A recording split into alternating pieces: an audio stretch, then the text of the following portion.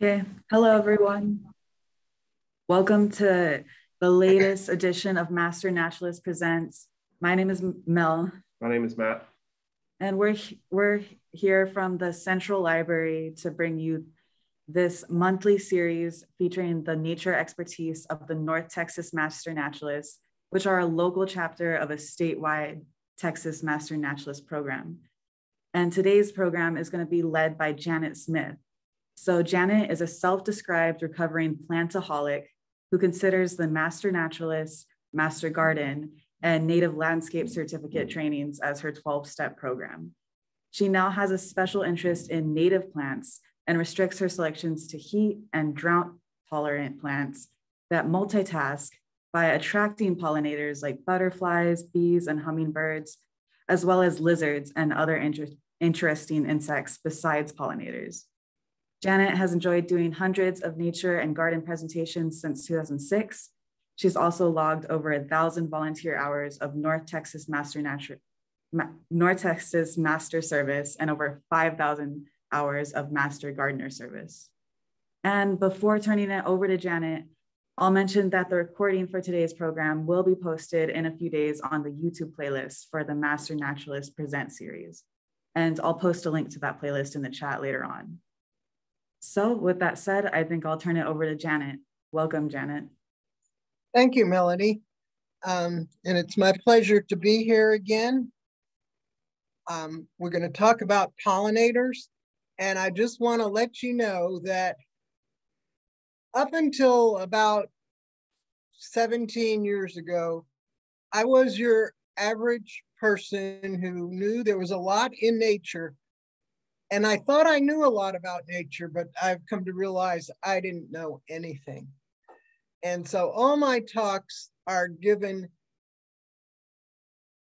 with that in mind that my I think my role is to tell people who aren't aware of what's going on, what's really happening around them, and hope that they become more observant and more appreciative of what it takes to make our life worth living. And we need all these creatures to help. So, as mentioned, I'm a North Texas master naturalist, and we are a corps of well informed volunteers who want to educate the public about taking good care of nature and so that generations in the future can enjoy it. So most people like to look at flowers, but plants produce flowers only for one purpose, and it's not to entertain or amuse human beings. It is to help themselves reproduce. The basic driving force of all plants and creatures is to reproduce. And the way plants do that is through flowers, and they need help. And those are the pollinators. So most flowers are like 75% of the plants have flowers to aid them in reproduction. And most of them have visible sexual organs. And you've all seen them if you've looked up close at plants.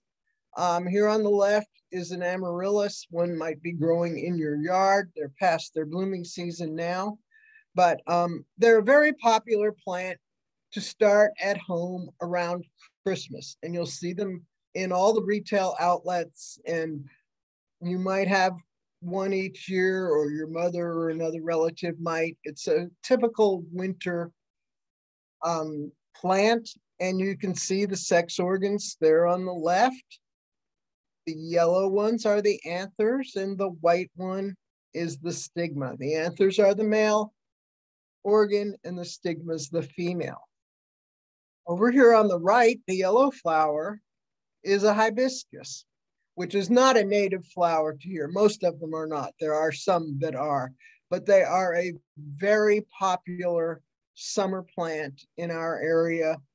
You know, the big box stores will be full of them. They're very inexpensive to buy. So they're very popular and they're beautiful flowers. And there's their sex organs just there for the world to see. There's no way you can look at these flowers and not notice their sex organs. And the flowers put themselves out there like that to make it easy for the pollinators to help them reproduce. So some plants have just one set of sexual organs. They're unisexual. There might be a male plant, there will be a male plant and a female plant. And these are some of them that you might be uh, familiar with. Many of our big trees are single sex plants. And especially the cottonwoods this time of year, usually in June, is when we see a lot of um, what turned out of their cottonwood seeds blowing in the wind. And I live over by White Rock Lake, and I remember times being at the intersection of Buckner and Northwest Highway, which is a big intersection. And I actually had to put my windshield wipers on to keep it from being covered with cottonwood seeds. A lot of people have allergies this time of year and they think they're allergic to cottonwood. But in reality, that's probably not their problem because these are cottonwood seeds and very few people are allergic to seeds. Most people are allergic to pollen of one sort or another. And that is all also in the air the same time of year from many other trees. So don't blame your sneezing on the cottonwood. They're not to blame in June. But you know, this is a varied list of plants from uh, vegetables, nuts, fruits, hallucinogenics. I'm not suggesting you grow all these. I'm just listing them to let you know. These you will have to have a male plant and a female plant in order for them to have reproduction. Some plants have flowers that are male and flowers that are female. And these are the ones, different plants have different genders. So here's the squash flowers. You see the male is on the left and the female is on the right. And that green part below the yellow bloom is the ovary. And that's where the seeds are going to grow. So if you see that, you know it's either a female plant or it is a bisexual plant that has both genders. And here, when you look at the flowers, you can see the difference. And, you know, most humans, I think, looking at these would figure out that the one on the left is the male and the one on the right is the female.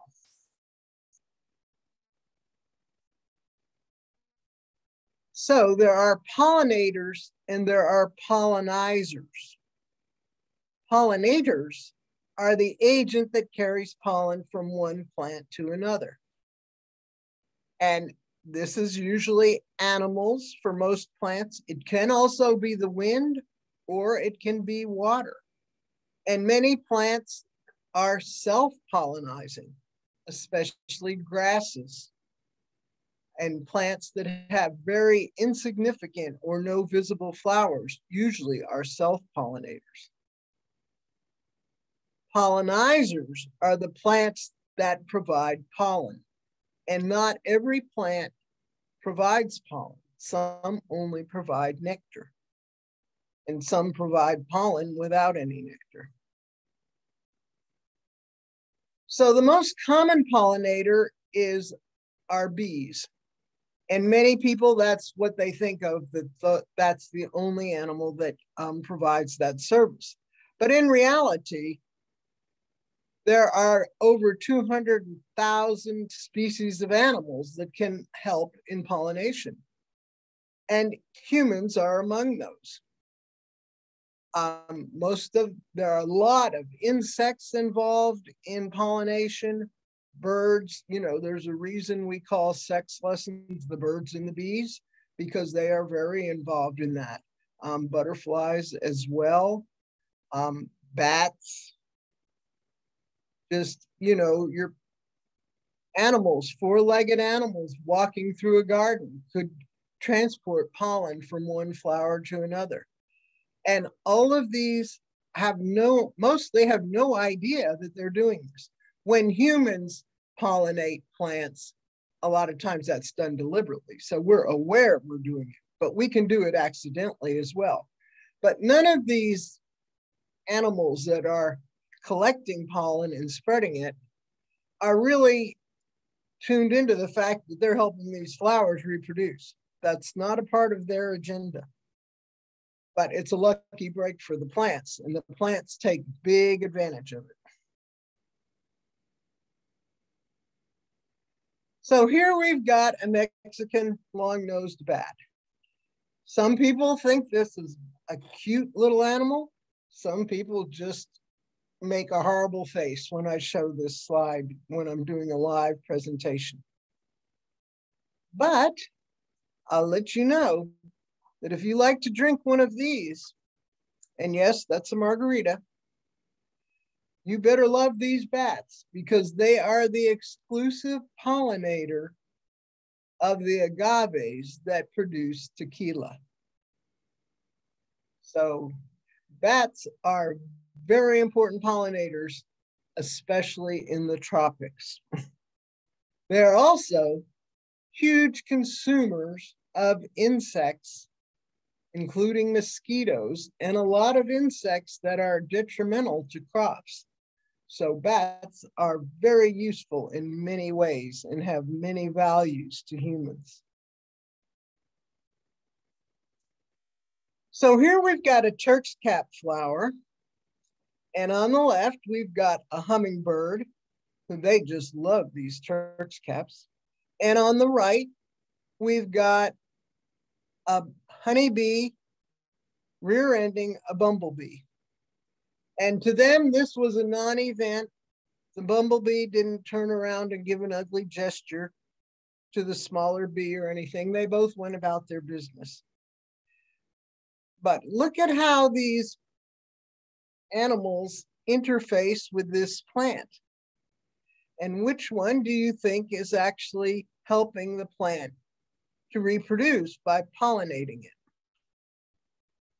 Well, hopefully you guessed the hummingbird because you can see here, and this is a male ruby-throated hummingbird, his forehead lines up exactly with the sex organs of this flower that are way above the nectar source, which is at the bottom of the little cup-shaped flower.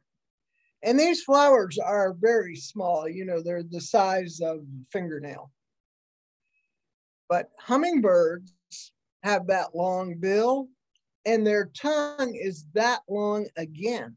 So they can get way to the bottom of plants, of flowers, and sip the nectar. And here you can see that this hummingbird appears to have some pollen on its forehead. So hopefully when he goes to the next plant, when he flies in, he might rub that against the stigma, which is the very top of the plant there. It's actually a little bit above his forehead in this picture. Over here with the bees, we've got the bumblebee, the big burly one, can sit outside the flower and sip the nectar because it has a long proboscis, which is its drinking body part. The smaller bees, however, have very short proboscis, so they have to actually climb into the flower in order to get the nectar. And none of these insects is touching the sex organs. So they're not helping the plant reproduce. But they are getting some needed food. So this kind of sums up what pollination is.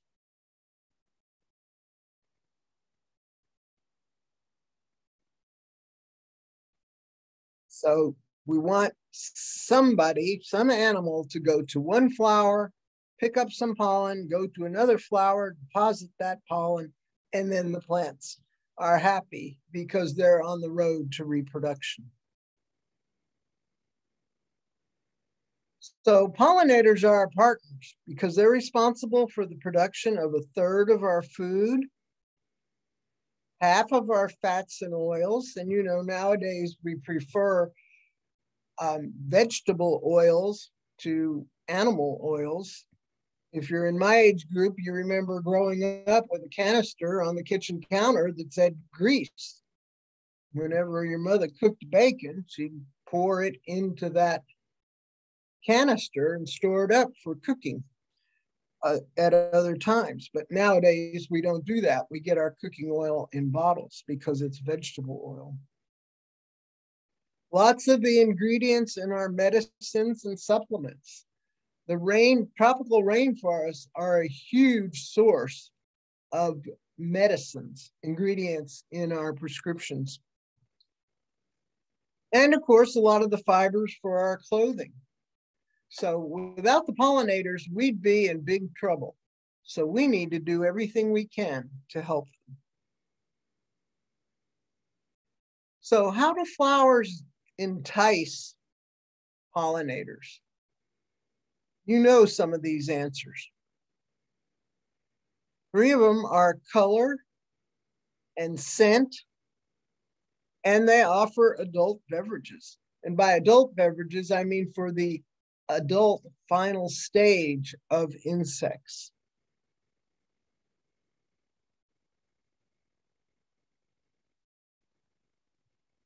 Okay, I'm having a little problem here. It's not advancing like it should. Okay, so advertising with color. Bees are particularly attracted to blue, yellow, purple, and ultraviolet. Of course, we can see blue, yellow, and purple, but human eyes cannot see ultraviolet without a black light. And this means that these are the colors that will attract bees to the area. It doesn't mean these are the only colors flower that bees will go to. Hummingbirds love red, orange, and purple red, so things in the red spectrum.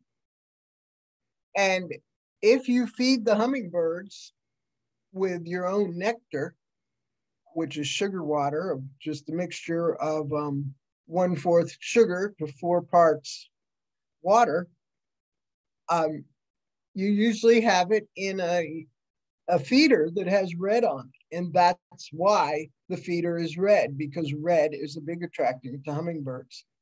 And full disclosure, I used to work at a wild bird store. And one day a lady came in and said, you know, she didn't have any kind of bird feeders. She didn't have flowers in her yard. She didn't have a lot of trees nearby or anything. She lived in a new area. And she went to the dollar store and bought one of those red plastic tablecloths. She laid it out in her yard and just put a saucer of sugar water that she made up in the middle of it. And within an hour, she had hummingbirds coming to get a drink. So they are strongly attracted to the red color spectrum. They will then check out the other flowers in the area and could drink from them as well. If you have a hummingbird feeder, many of them have the, the ports where the hummingbirds can put their um, bill and tongue in to get the nectar. Many of those are yellow. And you can see here, that's not really a good idea because yellow attracts bees. And trust me, you do not want bees inside your hummingbird feeder because you're the one that's going to have to take the lid out, and those bees are going to be mad. And you don't want to be around them when they're like that because that's when they could sting because they have been threatened. So my tip is i have a hummingbird feeder that's red but does not contain yellow. Butterflies see um, a wide range of bright colors, red, orange, yellow, pink. Flies, which are great pollinators, are attracted mainly to green and white foods. And I remember, you know, at, when I was younger at picnics, all the time we'd have flies all around our food. And you think about a picnic, you know, I grew up where you never had a picnic without potato salad or pasta salad, which we then called macaroni salad. Um, you know, those things are green and white. And then there's the carrion eating flies. They're attracted to things that are maroon and brown. Carrion is basically roadkill. It's dead meat, which is usually maroon or brown. I was giving a talk to a garden club years ago, and one lady said that she had bought this big 12 inch lily flower. Of course, she'd bought it off the internet. And um, she wanted it where she could see it all the time. So she her house didn't have a garage, they had a porte cochere. And she planted it right by the entrance where her car door was, so that every time she got in and out of the car, she would see this flower. Well, lo and behold, when it bloomed, all she could smell was a dead animal. And she looked around for a dead animal and didn't find one. And y'all can guess what her husband's job was when he got home.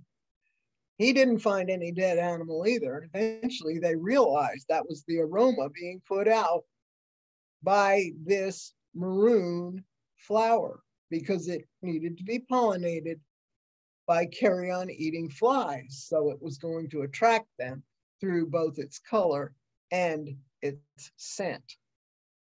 After the blooming season, they transplanted that flower back out to the fence line because it was so big they could still see it from their windows, but they no longer had to smell it. So here we've got two flowers that I hope you're familiar with.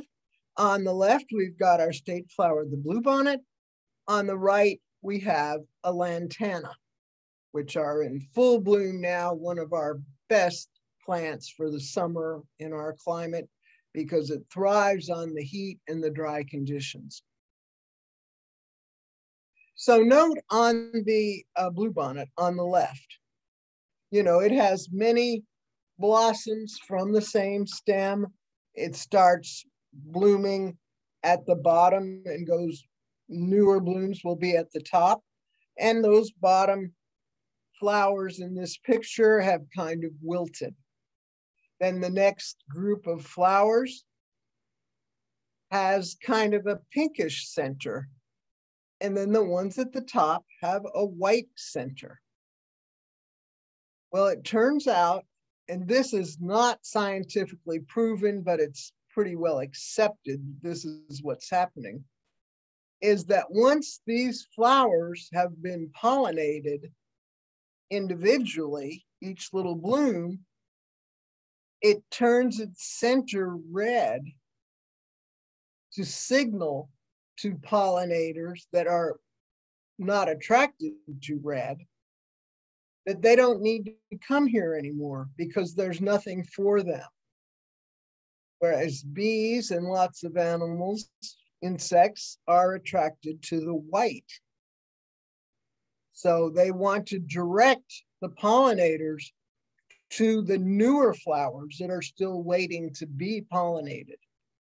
So Eh, they're trying to make themselves invisible to those pollinators that are attracted to red and direct them to the right little blossom to help them reproduce. On the lantana, it is scientifically proven that in the multicolored lantana, which collectively are called the confetti lantanas, they bloom first. When the bloom first opens, it's yellow and it comes from the middle of the flower, is like you can see on this example. And then once that individual little blossom is pollinated, then it turns red. And note that the, the flower that's about at the um, 11 o'clock position, note it's got both red and yellow petals on it. That's in the process of changing from yellow to red. And it's all because the plants want to draw attention and attract the pollinators to the flowers that still need the help to reproduce. So another thing flowers use to draw pollinators is they produce nectar, which is sugar water. Here we've got a passion vine flower. And these are just remarkable flowers. And I remember the first time I ever saw them or noticed them was at the um, Arboretum. And I just, everybody that walked by, I stopped them to show them these flowers because they were so remarkable. And at that time, I had no idea how remarkable they actually are. But you see these thin white items. Those are like nectar guides. Those are going to guide any insect, in this case, a bee, going to guide them right to the center of the blossom in that area that's pale yellow, and that's where the nectar is. So the bee will walk around that area drinking up the nectar. While she's doing that, any pollen that she has on her back, and unfortunately, this one doesn't have any pollen on her back, but this purple spotted structure, that's the stigma, the female part of the flower. So any pollen that she has on her back will rub off on that stigma as she walks by. These, and there, note there are three stigmas. And then there's these yellow and green structures. Those are the anthers, the male organ, and they contain the pollen. So when she's finished drinking all the nectar, she's probably going to rub against one of these anthers on her exit flight from this flower. And that's when she'll get pollen all over her back to carry to the next plant where she's going to drink. So it's a very effective method of ensuring pollination and therefore reproduction for this uh, passion vine. As it turns out, this attracts many kinds of bees, but it needs a specific bee, a passion vine bee, to actually pollinate it. Here we've got some bees inside a datura flower. Daturas are um, flowers are usually white, although they can be yellowish or pinkish and they bloom at night and they open at dusk. And you can actually see the petals move to open. So it's very interesting to watch them. And at dusk, bees will stay up late beyond their normal bedtime to come and get the pollen out of this flower. And you can see here how they're gathering pollen and bees gather pollen with their, they have six legs. They use the first two legs to gather the pollen. And in most bee species, then they pack it in to pollen baskets that are on their hind leg pair. And that's what you can see there in the center of the picture those kind of circular pollen baskets. And so these bees are getting all the pollen they can, and then they'll go back to their hive and be unpacked by other worker bees. But it's really fascinating to watch Datura right at dusk, where you can see the flower click open and then see the bees come in and get the pollen. Some flowers that offer pollen only, they don't have nectar, are poppies and camellias, also roses, clematis, and begonias. So these are good for bees, but they're not good food sources. They offer nothing to hummingbirds or butterflies. And on the right here, this camellia, I was over at the Arboretum. I live near the Arboretum, so I used to go there a lot. Now I don't go so often because I prefer more natural settings and more native plants. But I was in the Camellia Grove one nice day, sunny day in January, and most of the open flowers had one bee on them. And then I noticed a mini swarm of bees. So I walked over that way. It was probably 10 feet away or so. And this flower had just opened. And there was a line of bees to get in and get the pollen. So you see these two bees on the outside and look to the right of the center bee. You see that little black spot. That's a bee inside the flower. And at this point, only one bee can fit in. So this bee in the middle is just leaving and you can see how much pollen she has in her pollen baskets. And the bee on the upper left is waiting to be the next one in. And there were bees all around, flying around and, and then just sitting on stems and branches of this tree and other nearby trees waiting to get in and get that pollen. So they knew where the best stuff was and they were going to get it and take it back to the hive. And perhaps they would rub some of it off on another flower, on another shrub to help the plant reproduce. So there are all kinds of bees. We tend to think of honeybees as being the prime pollinators, and they are very, very important, but they are not the only bees that pollinated, nor are bees the only insects that pollinate. Lots of insects pollinate.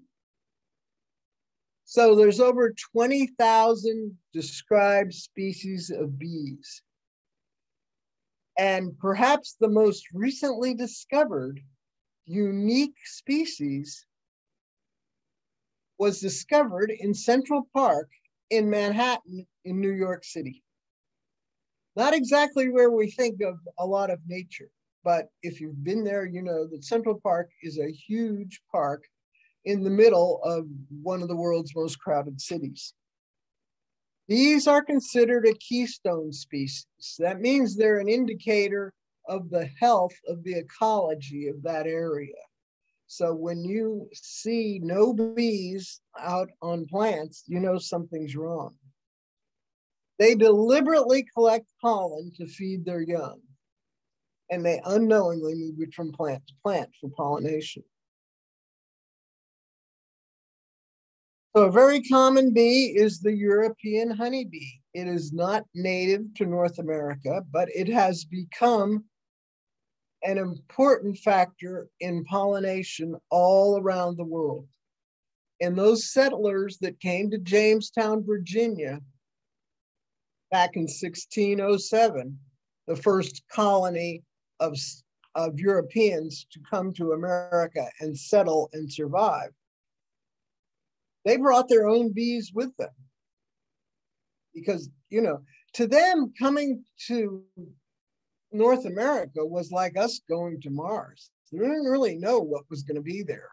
They knew life existed but it was going to be different than what they were used to. So they brought their bees with them. And now european honeybees are um, they're a war, wide industry. People build hives for them. They are a a business. They're transported around the world to pollinate different crops, and they are hugely important to our daily lives for the food they provide. California, the Central Valley in California is the biggest producer in the world of almonds. And it takes 90% of the commercial bees in North America to pollinate the almond crop. So, and it's this happens in March. So it's the first crop to be pollinated in that large, in a very large way. And it's an indicator each year of the health of the bees. And it's a very expensive activity. About $360 million worth of bees are rented every year for the pollination of the almond crop. About $200 rental price per hive. Higher than the cost for any other crop to be pollinated, any other crop in the United States. So these are some of the crops that are pollinated by commercial honeybees that are usually transported to an area at a specific time when those plants will be in bloom so that the bees can help pollinate them. So we see nuts and fruits, vegetables, herbs and spices, a lot of the things that we eat on a very regular basis. But there's also native bees, and there are at least 500 species in Texas and they co-evolved with the native plants. So they have a very important relationship. And if you remove the bee, the plants would survive. If you remove the plants, the bees would survive. So they've got a very um, interesting relationship. And, but it's very hard to commercially grow native bees. They don't lend themselves to it like the honeybees do. So, but they are a great help in pollinating. They make honeybees more productive. And native bees are much better pollinators than the European honeybees. So 200 natives can pollinate as much as 10,000 honeybees. And that's mostly because the European honeybees live in colonies, in nests, and only a small percentage of their bees are out foraging for pollen and nectar. The rest are in the nest doing the other chores to help the hive survive. You know, you've got the queen who goes on her mating flight and then is mated enough times to lay tens of thousands of eggs over a five year period of her life or so. And you've got all these house bees, they're called, that perform the different tasks. You know, a hive is really like a maternity hospital. And so you've got the nurse bees, you've got the bees that take the pollen out of the forager bees um, little pouches. You've got bees that keep the hive at a certain temperature. There takes a lot of worker bees to make that hive function. So a very small percent are actually out gathering the pollen. Whereas the native bees are usually solitary bees. And so they have to find their own food and raise and take it back to their little nesting area and then lay the eggs and, and provide the food for those bees to go through their stages and become adult bees. But bumblebees do have colonies and do have worker bees, but all the other native bees are solitary bees, not social bees. So the bumblebee is a very important pollinator. And here we can see a bumblebee and you can see the pollen basket, that yellow dot down there at about the seven o'clock um, place on the circle. So 60 to 90% of bumblebees pollinate versus 5 to 15% of the European honeybees. Bumblebees visit twice as many flowers and they can have four times more pollen deposited on them. Well, remember that picture of the honeybee rear-ending the um, bumblebee? Well, duh, of course they can collect four times more. They're four times bigger and they're very furry. So they have a lot of pollen will stick to that fur, whereas honeybees are slick. And so they've got to pack it all in their pollen baskets. Bumblebees have pollen baskets as well, but they also will have a lot of pollen just in the fur of their bodies. Bumblebees can work twice as long due to better tolerance of cold and wet weather. And honeybees are divas. You know, they've got to have all the conditions have to be right for them to leave the hive.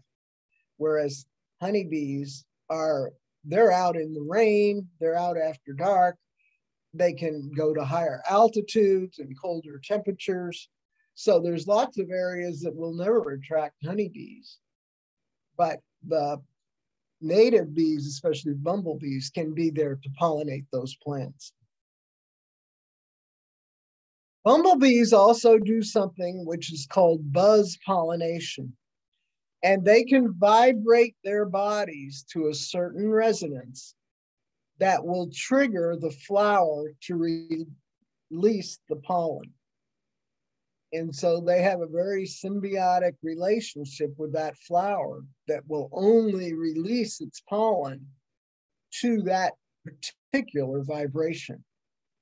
And some of the uh, foods that we eat are um, use this buzz pollination. They might not do it exclusively, but bumblebees certainly help pollinate these crops. So we've got tomatoes, cranberries, kiwis, and uh, strawberries and blueberries. One day when I was giving a talk on an unrelated topic, not on pollinators, um, this fellow in the audience asked me, why didn't they tell him when he bought his tomato plant that he would have to hand pollinate it? You know, and I, I thought for a minute to get into that, into the pollination mode. And then I said, You said tomato plant, you only have one? He said, Yes, just one. And I said, How many other flowers do you have blooming in your yard? And he said, None. And I said, That's why you have to hand pollinate. You've got nothing that's going to attract the pollinators. They might not see your one tomato plant, but if you had a yard through, full of blossoms, they would be coming in and then they would see your your tomato plant, and you wouldn't have to hand pollinate. So, you know, there's more is better when it comes to pollination. The more flowers you offer, the better chance you have of getting any particular one to uh, reproduce and produce fruit.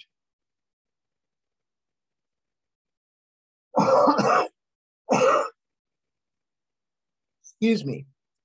Um, squash have their own particular type of bee. Many bees are specialists in that they only go to one kind of plant. And squash bees are ones that kind of break the rules.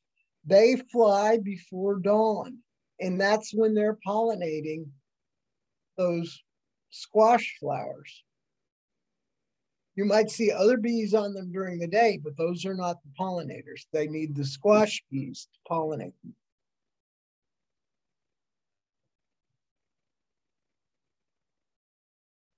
There's the blue orchard bees. These um, are specialists also. They usually live to pollinate only one type of tree. And their whole lifespan as adults exists during the time when that tree will be blooming. So they use them a lot for cherry trees. And those bloom during a particular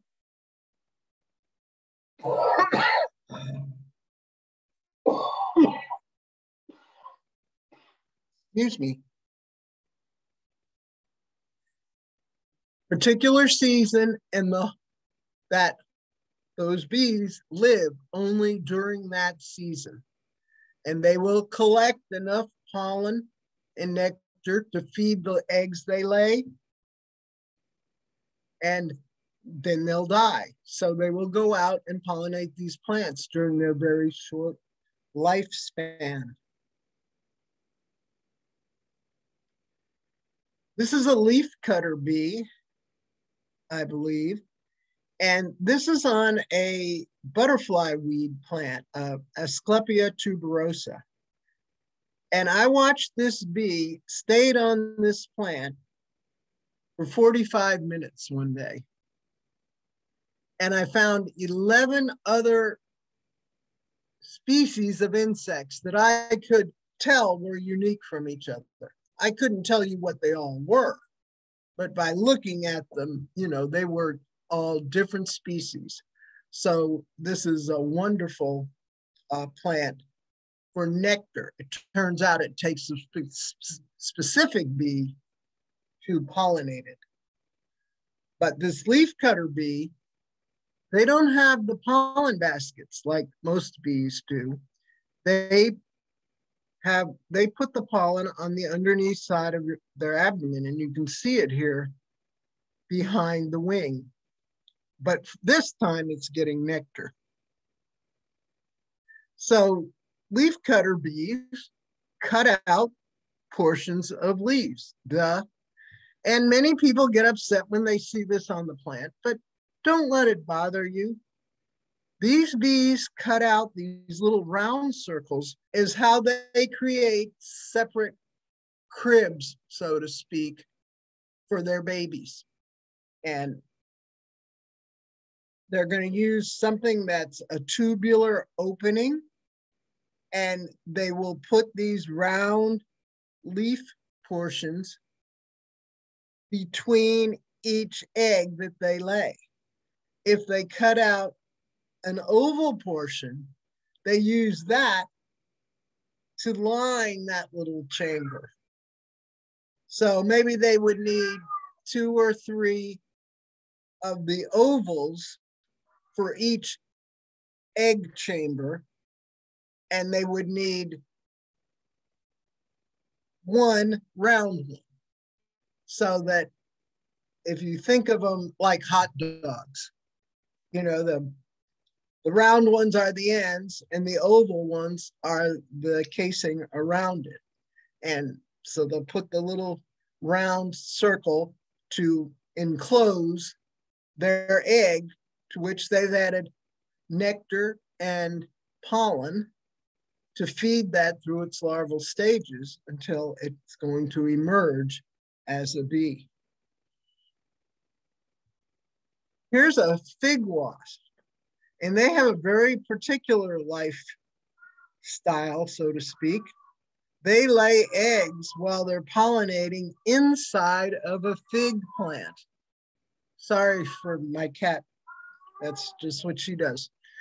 Um, so they have a very unusual way of reproducing to actually lay their eggs inside of the plant that they're pollinating. So we know that the Eastern, the European honeybee colonies have they're at about a 40% die-off rate each year. And there are many reasons for that, and um, beekeepers are working on it. You know, back in the um, like 15, 20 years ago, I think it was 2006 when they recorded the first occasion of colony collapse disorder and it took them years to figure out what was causing it. At one time, they thought it was cell phones, um, but that turned out not to be the prime reason. It was stress on these bees. And now they know that there's a lot of reasons for this die off, and it's all to do with the health of the bees. And the beekeepers are doing a better job of feeding them, especially because in the off season, in the winter, beekeepers were feeding their bees corn syrup, high fructose corn syrup, the same product that we have in a lot of our foods. And we know that's not a healthy product for us or the bees. So beekeepers now know they have to feed them something more uh, nutritious. There's also insects and mites and bacteria that can get into the hives. And beekeepers now know a lot more about all this and um, can prevent it. But the wild bees are also dying off and they can't be replaced. So we have to help them survive and reproduce. So, how can we help? We can avoid spraying pesticides. And by that, I mean insecticides. We all have neighbors who have the exterminator out every month. They've got the mosquito systems that emit pesticides on a scheduled basis. And yes, those might kill the pests and mosquitoes, I'll admit. You know, I'm sure they have some benefit to life, but mostly for us, they're an irritant. And we don't like being bit by mosquitoes, and we can get very serious diseases from them. But we've got to be careful. If you need to get rid of one pest, you need to be very careful what you do, or you'll get rid of all the insects. And we don't want to do that. So, one thing we can do is replace some of your lawn with and exotic plants with clusters of native and old variety plants. And you can provide flowers year round, not just in the summer. Um, you can join these organizations, millionpollinatorgardens.org, Bee City USA. There are many others, but there is a big effort in North America to do the things we need to do to help all the bees survive. You can create a bee lawn. And you know, in the spring, a lot of times in a lot of yards, it will look like this, and there'll be a lot of these little lavender flowers. These are henbit, and those are a short lived, cool weather grower that is providing food, pollen, and nectar to bees in the cool weather. They're very beneficial to our pollinator population. And they really do no harm to your yard, to your lawn, because they're cool weather growers and they're going to die naturally. But if you listen to all those commercials, you think you've got to put out weed killer to get rid of them. And you don't really need to. You'd be doing a big service if you would let these grow and let these insects get food from you. Another one is dandelions. And in this country, dandelions is a four letter word spelled W E E D. And the definition of a weed is a plant where someone doesn't want it growing. And to many homeowners, their lawn is a place they don't want dandelions growing. But in reality, those first settlers that came to Jamestown that I mentioned earlier and brought their honeybees with them, they also brought dandelions. Dandelions are not native to North America, but they are an excellent food source for bees and for humans. Bees can get the pollen and nectar. Humans eat the foliage. It's a superfood, just like kale. So I know I welcome dandelions in my yard. My yard doesn't have grass, it has plants. And so I don't, you know, I treasure them and I let them grow. And yes, I'll admit it, I still act like a little kid and take that puff ball of seeds and blow on it because I want to encourage them in my yard because I know in the yard surrounding me, they're not going to be there. And those bees need to eat. They need to gather food on those nice warm sunny days we have in the winter. So let your dandelions grow. So pollinators are essential for plant reproduction. Their population is dwindling due to the use of pesticides and destruction of natural habitat. I'm giving this talk in Dallas, Texas. Need I say more about the destruction of natural habitat? I mean, we're one of the fastest growing places in the world. We have paved paradise and put up a parking lot. Um, so we need to help them survive. Plant your native and old style plants. Don't buy those hybrids that are in the big box stores and many of your other nurseries.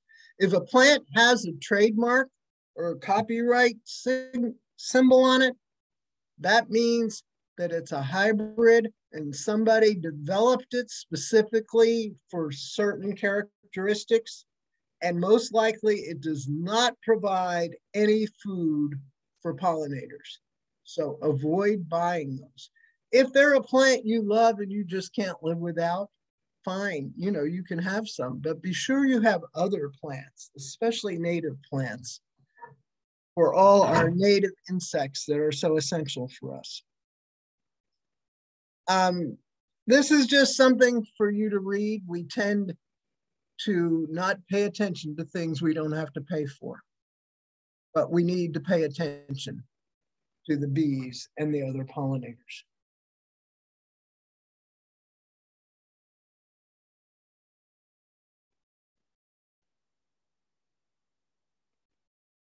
So at this point, um, I would welcome any questions. And I'll stop sharing my screen.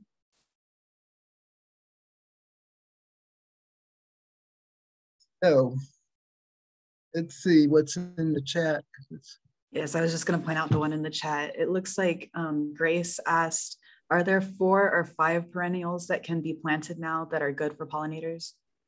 Oh, there's so many of them. Um, the one behind me here, uh, Black-Eyed Susans, um, purple cone flowers, all the sages.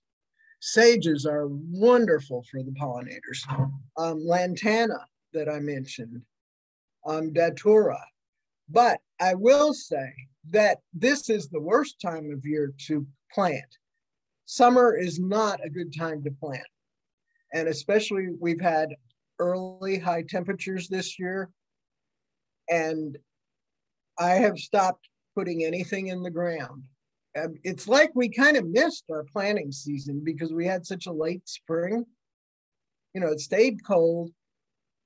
Then we had those terrible winds where you just didn't want to be outside because it was so windy. And then all of a sudden, it's 100 degrees. And so we've missed a lot of our planting season. But roots won't grow if the soil temperature is over 85 degrees. And that usually happens when our lows don't go very low. You know, if our lows, if our highs are 100 and our lows are in the 70s or the 80s, the soil is going to get hot. And so it's very difficult for plants to grow and thrive when you plant them in those situations. And they require a lot more water. And another thing, I'm big into drought tolerant plants, and all those ones I named are drought tolerant, but they still need water when you first plant them. So our next planting season will be the fall. And Unfortunately, there's not as much selection of plants at that time. But um, I would say, as a group, the sages are a wonderful pollinator plant. You've got your autumn sages, which are little shrubs. You've got and they come in a variety of colors. They attract all the pollinators, bees, butterflies, hummingbirds. Yuccas are great ones as well. The lantanas that bloom in the summer. And um, here we've got black-eyed Susans. Gregg's mist flower is a wonderful one. Bees love it and the monarchs love it. It is one of the two essential plants for us, for the whole country to have for the fall migration of the monarchs, which occurs in our area usually in October. And the plant actually, it attracts the male butterflies because it has a chemical in its nectar that is got medicinal value. So when those males later, in the case of monarchs, it would be next spring, mate with the females, they pass that medicinal benefit to them. Could um, you repeat that? Repeat that one again. What is the name of the flower? Blue mist flower. Blue mist. Okay, thank you. It's um, a little. It makes clusters of little furry type lavender flowers, and I just think of it as Viagra for butterflies, and the bees love it too. Um, and another one that's essential for the monarch migration is frostweed.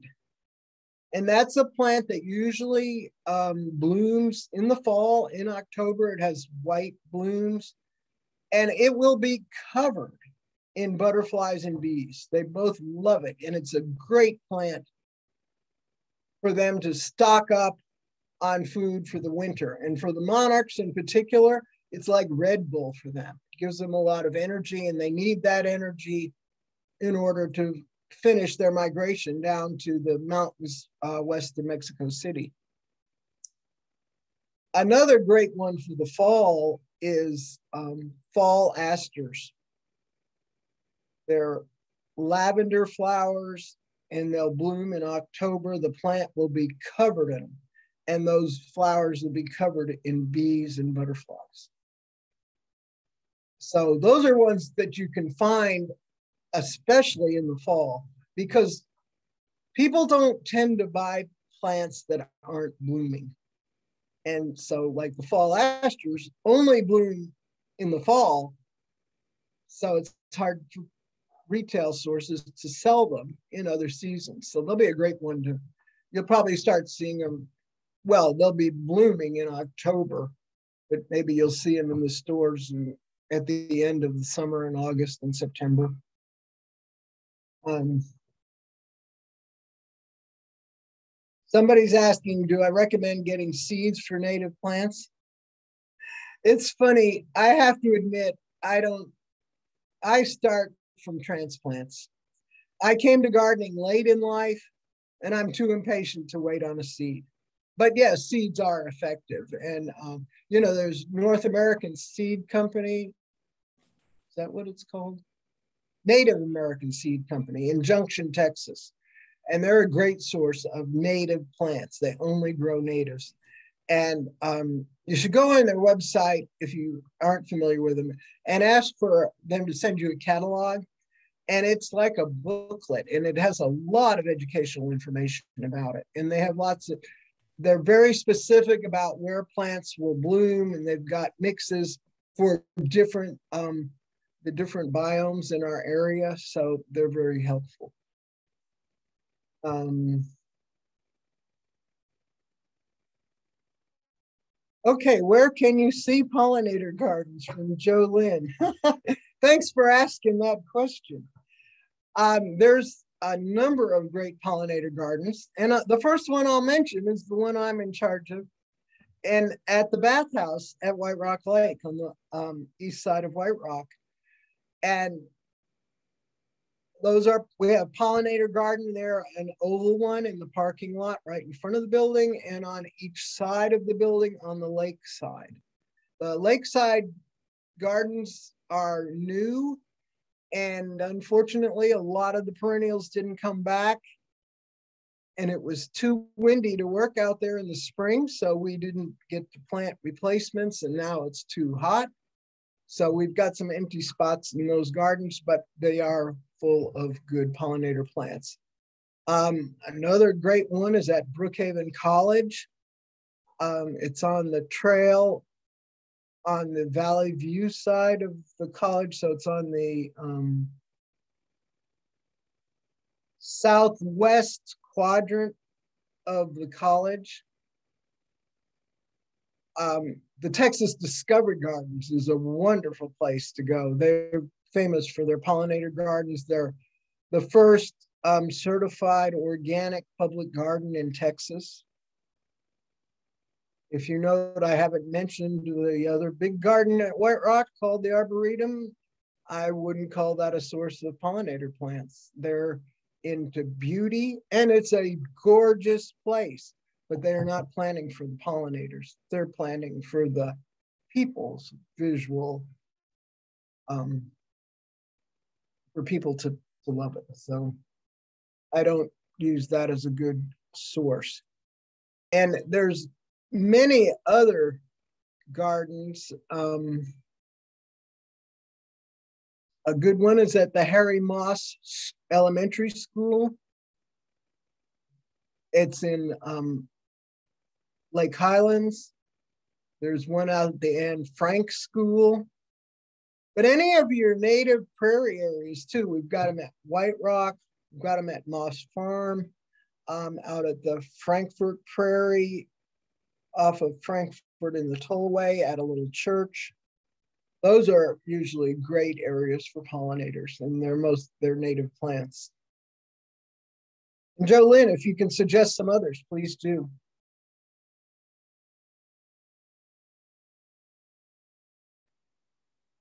Any other questions?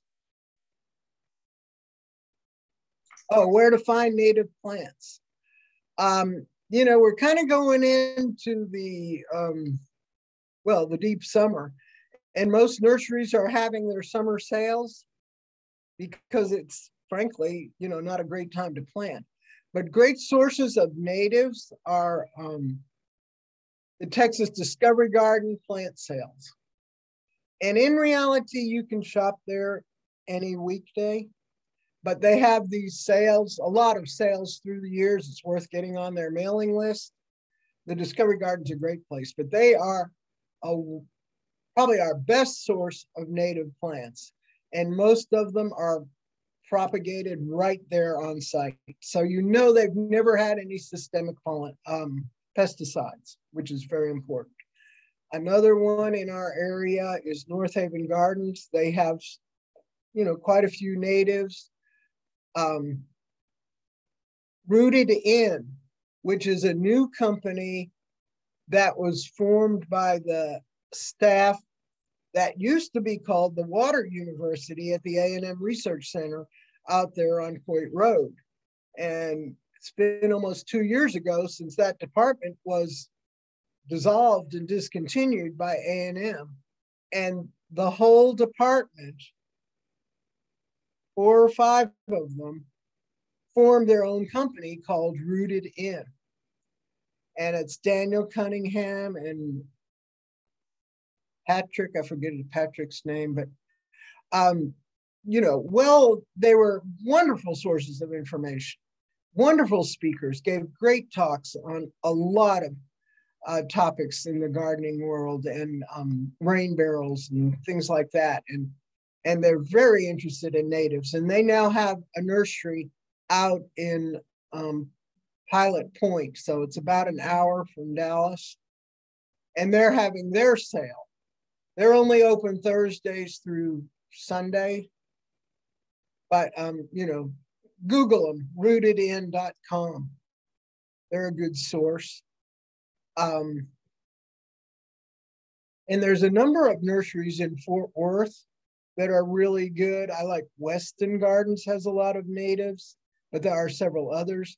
In Denton, there's um, the Painted Flower Farm which is a nice nursery. It's on um, 380, just west of 35, you know, like a quarter mile west. Um, they're a nice place.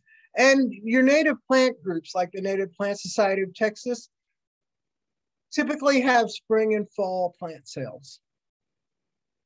And now that there's been a revival of the Native Plants and Prairies Day, and I hope that will be offered again next year, the first Saturday in June at the bathhouse at White Rock, um, that will have a lot of native plant sales. Have um, the Native Plant Society will be there.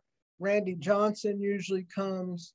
The Texas Nat Native Conservancy, CIC, a newer group was there also selling native plants. So, and in the surrounding counties, um, you can, they have plant sales at the Heard Museum in McKinney for the Collin County Master Gardeners.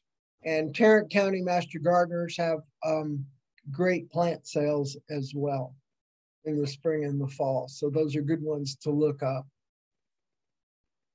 Um, do I know anything about the Paul Quinn College Garden? No, I don't. But Grace, do you know about it? Would you like to tell us about it? I don't know anything about it really. I went to um, a block party they had on campus about two weeks ago, and they had a lot of look, good looking vegetables.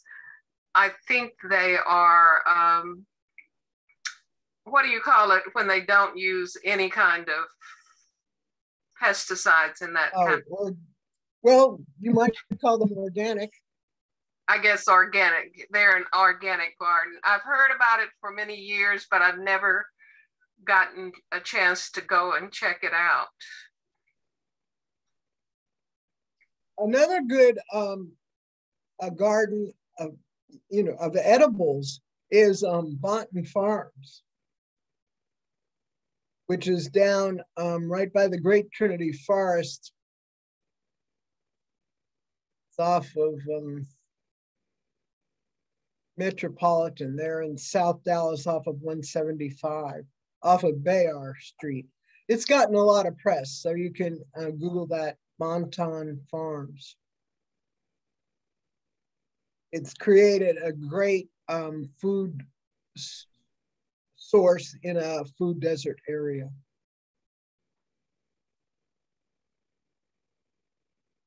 Any final questions before we wrap up today's session?